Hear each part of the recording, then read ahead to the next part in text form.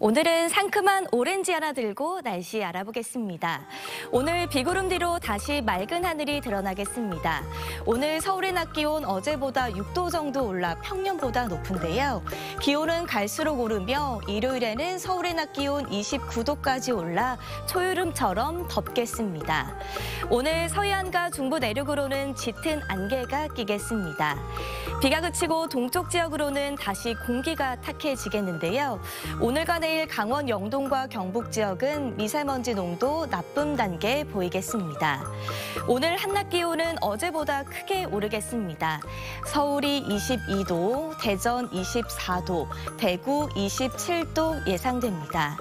내일 오후부터는 제주도에 비가 내리겠고 다음 주 월요일에는 또 한 차례 비 소식 들어 있습니다.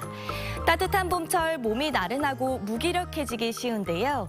지친 일상에 활력을 불어넣어줄 음식 소개해드리겠습니다. 처음부터 제가 들고 있는 이 오렌지, 오렌지가 제철을 맞았는데요. 오렌지는 비타민C가 풍부해서 면역력을 높여줍니다.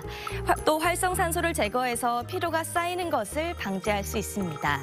다음은 쭈꾸미인데요. 쭈꾸미에는 타우린 함량이 높아 체내 에너지를 만들어줍니다. 또한 콜레스테롤 수치를 낮추고 근육의 에너지 생성을 도와 활력을 높여줍니다. 오늘은 쭈꾸미와 오렌지 드시고 상큼한 목요일 보내시기 바랍니다. 날씨와 생활 정보 이나일입니다.